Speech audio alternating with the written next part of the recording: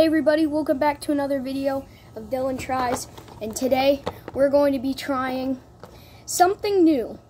Very new. I've never seen these before in my life. We just picked them up from the grocery store and they are I can't even pronounce this. And it's hard to see because it's like opposite in the camera. So waffle letin? Waffle letin? I don't know. Um, but they are crispy rolled wafers, like waffle cone type thing, um, with chocolate on them. And we got these because they kind of look like Pocky, so like giant Pocky. So we're gonna try these. It says dark chocolate, so we're gonna try these out and see how they are. All right, so let's get them opened. Ooh! Let's get one out. Alright. We're going to move this off to the side real quick. I don't want it to melt in the sun because it's hot out here today. It's really hard to see. Uh, like, the lighting's really bad.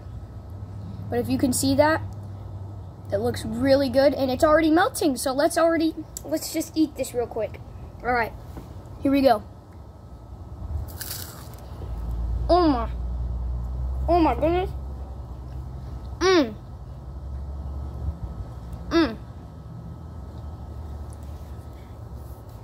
That's good. That's really good. Oh man. Super crumbly. Like really crumbly. It's everywhere. It tastes good. Um, it tastes like tastes like Pocky, but like light, airy Pocky. And you can see like a hole through it. You can actually like, you can use it as a straw. I want to drink milk through this. Like if you want to see me drink milk through this. Oh! Oh my goodness. It's falling everywhere. Alright. It tastes really good. Tastes like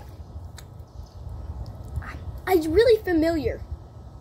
It really tastes like Pocky. It just tastes like really thick, not thick, airy Pocky. It's just a bigger Pocky. The waffle tastes like, not waffle. Doesn't taste like waffle. Tastes like bread. Older bread. But not bad. It's super crumbly and it falls everywhere but it tastes super good.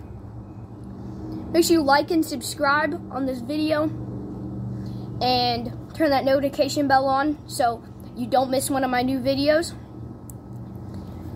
And I'll see you in the next one. Bye.